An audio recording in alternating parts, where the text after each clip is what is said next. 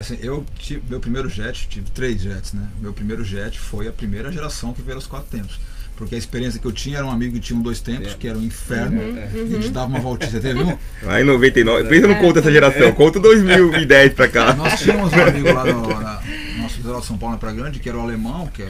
Então chamava alemão do jet. Então disse que ele era assim, também maníaco, né? É, que ele tinha os dois tempos, ele sofria. Pra, Mas gostava Mas ele sofrer. gostava de sofrer. Eu, eu devia dar uma voltinha no dele, mas eu não gostava de sofrer. Aí logo que nós. Os quatro tempos eram o quê? 2006? Deve ser. Os Os quatro tempos GTIs, 2006. primeiro GTI. É, isso, 2000 por aí, 2005, por aí. 2006. Esse Sidu, ele comprou era um que era amarelo, azul com a tampa amarela, banco amarelo, não sei assim. ele teve. É, não conheço dos modelos exatos. É, não lembro, mas foi o que ele comprou. Aí quando ele começou a usar, eu falei, pô, esse negócio não dá problema. E aí eu comprei um 2007, assim que lançou o seguinte. E aí também fiquei meio assim que nem você no começo. Meu problema foi o barco. Até apaixonou pelo bar. Não, é porque o barco foi crescendo meio junto. E aí o meu último era um RX-TX 255 2009, eu acho. Uhum. E eu passei a não usar mais, cara. Porque você vê agora, eu vou sair de barco, vou sair de jet. Aí sair de barco. Aí ficava tipo 3, 4 semanas sem usar Mas o também jet. não tinha ninguém pra te apresentar um passeio mais longo, alguma proposta diferente, né? Mas, cara, eu fiz muita coisa. Eu fui para Araguaia, sozinho.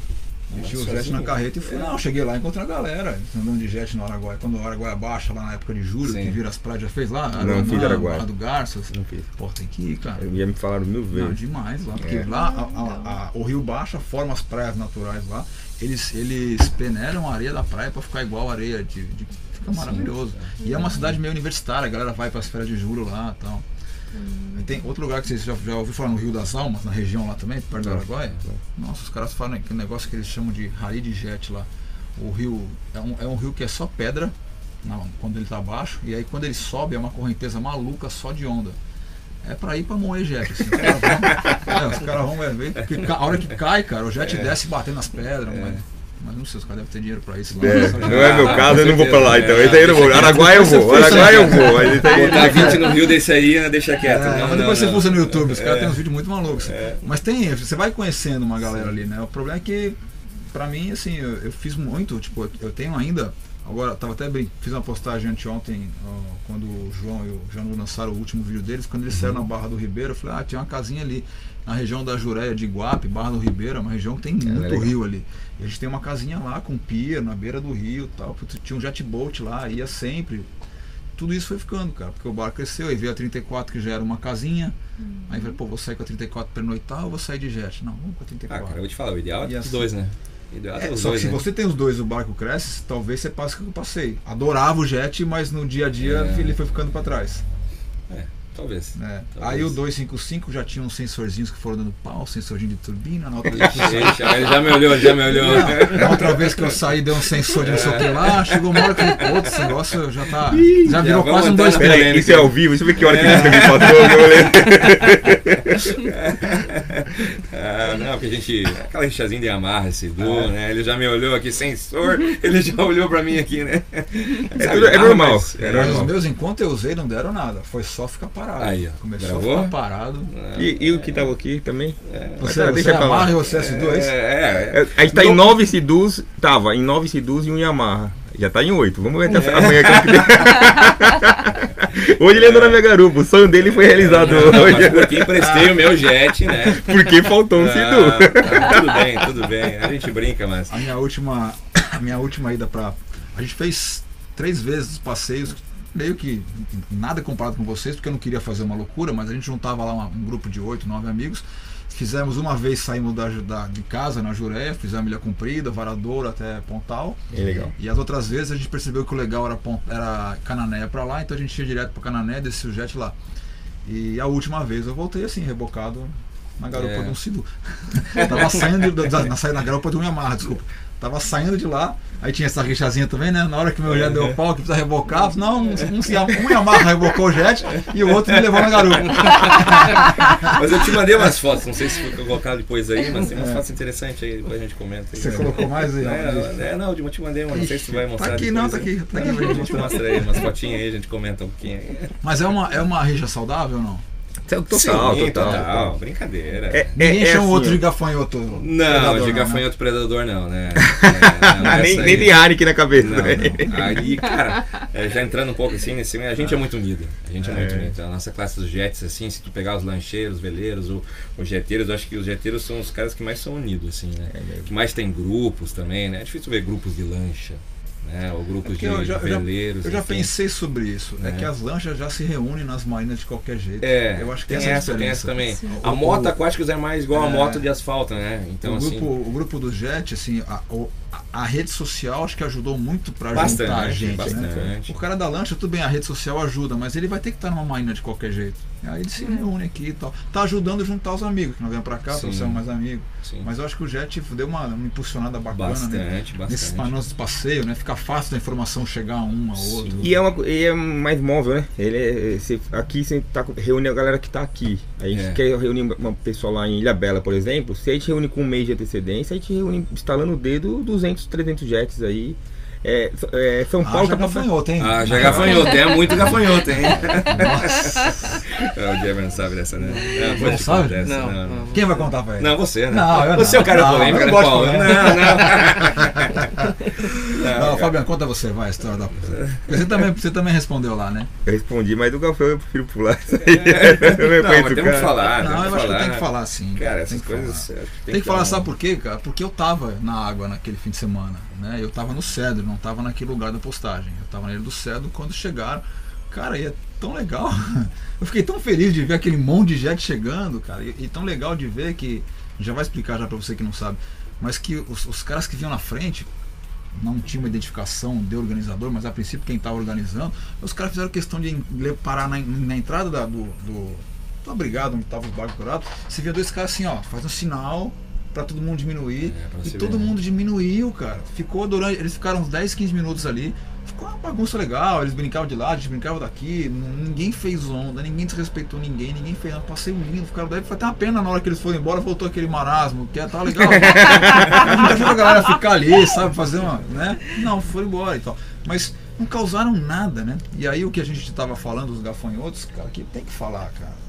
O Fabiano deve estar preocupado com a retaliação ali, ele não vai querer entrar Não é isso não, cara. É, é- ele foi muito infeliz, né? E eu, eu, eu por mim, até põe um ponto final assim no, no comentário, mas eu entendo um, um ponto, porque existe muito preconceito ainda, existe muito mau usuário do jet ski. Existe, Essa é a, é a realidade, né? Então às vezes você chega aqui, hoje eu fui comentar um cara aqui no veleiro, agora que a gente chegou quase seis da tarde, fui abastecer ali, e um veleiro com um cara sozinho, bem devagarzinho ali, eu fui comentei o cara, e o cara não me comentava. Aí eu comentei de novo, o cara olhando minha cara assim, olhando feio. Então tem gente que tem esse preconceito e não eles, quer não, abrir. eles não cumprimentam ninguém.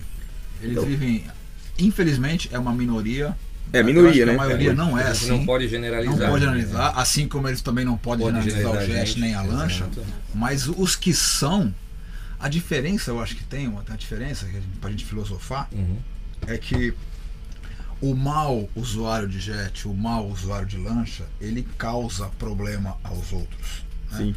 O mau usuário de veleiro, ele só é um cara mal-humorado que não socializa com Exato. ninguém à sua volta. Exatamente. Ele não causa nada, né? Ele é um cara que não te cumprimenta, ele é um cara que fa- faz uma. você passar por um. Eu de verdade, cara, eu não cumprimento mais velejador. Eu recomendo que oito ou nove me cumprimentam de volta, cara. Ah, e ele- e- e alguns, no até a turma que tá em cima, às vezes quando tem mais gente, ainda dá um Ah, tchau. então, mas sabe, sabe o que, que é essa turma que não tá em cima? afeta. É charter. O povo que Pode tá indo ser. fazer charter que não sabe da discussão. Porque em Pode geral, cara, assim, vira e mexe eu faço, a Gabi fala assim, é mais um vácuo. Ó, mais um quando o Sério, vácuo fala. É, ué. aí É. eu fico olhando, espero, se o cara se movimentar, eu cumprimento. Aí eu faço questão de comentar o mais incisivo possível, mas infelizmente a postagem do, do- da pessoa, e eu entendo você não querer se manifestar, porque é um ponto isolado na vida de vocês, mas a relação entre lancha e vela É ela é muito atribulada, né? E, e eu senti muito na pele com o vídeo que a gente soltou ontem no YouTube, que a gente soltou um vídeo, assumi, se você por um acaso não assistiu, né? A gente passou de 10 mil visualizações em um dia, foi muito bem, graças a Deus. Mas a gente admitiu um erro, uma falha, que a gente realmente errou, na, na- menosprezou a força de um vento e correu muito risco. Inclusive, eu quero falar rapidinho, porque tem muita gente que perguntou exatamente o que aconteceu. A gente menosprezou a força de um vento e encarou ele de través com âncora de proa e popa. E tinha tudo para dar errado, realmente, olhando de fora. Mas a gente correu o risco e errou. E entre as 10 mil visualizações, tem alguns comentários bem agressivos e bem ofensivos de velejadores, onde ele não fala só do meu erro, ele já generaliza cambada de não sei o que lá, sabe, falando mal dos, dos, dos lancheiros, como se não se o mar fosse deles, que não sabe nada, não entende nada, enfim. Então tem alguns, infelizmente, que queimam o todo, assim como tem alguns caras de lancha que realmente agem errado e queimam o todo, assim como tem alguns caras de jet que agem errado e queimam o todo. Então, ninguém pode generalizar. Nenhum deveria generalizar, nem a gente da lancha deveria generalizar, nem o pessoal do veleiro deveria generalizar, nem o pessoal eh, dos jets pode generalizar nenhum dos outros. Agora, o, o que, o que acontece é que, a princípio, o cara do jet não é prejudicado por ninguém. Se der uma balançadinha, você não vai ligar, certo? A gente da lancha, às vezes o cara do veleiro não entende que quando a lancha passa ali e faz onda, a gente também balança. Eu falo sempre que os caras do veleiro, eles- eu acho que eles pensam que a hora que a onda vem, ela fala assim, ah, isso aqui é uma, é uma lancha, vamos desviar dela a onda. A onda né, mexe igual, as coisas aqui dentro caem do mesmo jeito. Então não- não é, é desconfortável do mesmo jeito, é, é péssimo. Tanto quanto é veleiro, é para lancha o balanço. Então também incomoda a gente. Só que a gente olha e enxerga que é um indivíduo errado no meio de uma sociedade. Assim como devem existir gafanhotos predadores que andam de jet. Sim. Agora, o infeliz, voltando ao que originou aqui o assunto, o infeliz que postou, é, por um acaso chegou até mim aquela postagem, é, ele dizia, bosta- botava um vídeo dos jets chegando, foi um vídeo, não foi que ele Foi colocou, vídeo. que depois ele acabou removendo, é. dos jets chegando e fez embaixo uma descrição extremamente preconceituosa, extremamente generalizante. E, e nessa postagem ele colocou que eram gafanhotos predadores. É, né? é. Aí pronto, né? Aí viralizou, né? É, viralizou, a galera foi em peso em cima dele, mas eu achei muito legal porque é, já teve outra situação, né? É, onde o, o- a pessoa falou que queria abater jet a bala, vocês devem ter visto. Sim, sim. E aí os comentários ali foram pesados, né? Contra a pessoa mesmo. Tipo assim, você vai ver, eu vou te encontrar e tal. E nesse dos gafanhotos, eu acho que todo mundo deu uma resposta meio lição de moral no cara, né? Eu gostei da do Janu também, que convidou pra. Vamos passear com a gente. né? Tem, é, tipo, tem. Venha conhecer o nosso esporte também. porque não Chegou a ver a minha ou não? Não lembro, cara. É, não, li eu cheguei em. São Paulo, li toda. Eu tava na estrada, né? Li todas as mensagens, escrevi um baita texto, o cara deu uns 8, 9 minutos ele removeu a postagem. Não sei se ele. Pô, respondeu todo mundo e não respondeu. Eu fiquei chateado. Escrevi um. Que, que pra, pra mim aparecia, né? Sim. Porque eu, eu já não falava, não tô vendo a sua, mas parecia. Aí eu printei pra guardar o que eu tinha É que escrito. você foi um dos últimos, né? Foi um dos últimos, A né? Comentar. Eu não vi a resposta pra mim também, não. É, então falou que tu também respondeu foi um dos todo últimos mundo. a comentar. Eu não vi se né? respondeu pra mim. Mas não. foi interessante, foi legal a gente dar a nossa resposta também, né? Acho que a gente tem que botar a cara a bater, falar que não é assim, Isso. né? A gente tem que... Eu acho que são duas respostas, né, Tom? A primeira é essa direta, a gente tem que dar. Tem que dar. Exigir o respeito pessoal de cada um que for Exatamente. agressivo. É. Né? E a resposta seguinte é tentar educar, né? Vocês tentar educar o máximo de Exatamente. usuários de jet possível e a gente Como vocês, tentar os educar lancheiros o também, máximo né? edu- o pessoal de, de, de lancha. Exato. Foi você que comentou também so- sobre que estava no local e não viu nada demais? É, Então, mas sabe que Alguém depois eu, isso. foi, mas depois eu, eu reparei que a postagem foi outra, assim, o local era outro. Como eles rodaram mais ou menos que nem vocês, rodaram muitas praias, o local que ele estava quando Ah. ele fez a postagem da Tá, tá, reclamação tá. era outro. Tá. Eu tava, de princípio eu achei que era o mesmo lugar que eu tava. Falei, pô, mas não tinha nada, não aconteceu nada.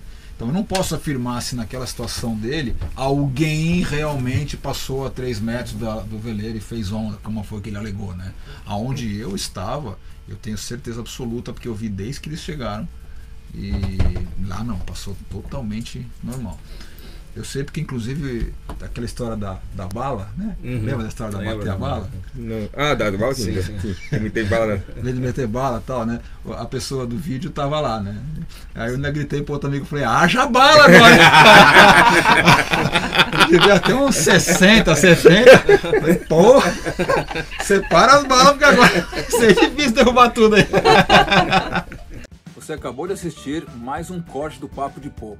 Se você gostou e quer assistir esse vídeo inteiro, procura na relação de vídeos que ele passou na sexta-feira passada.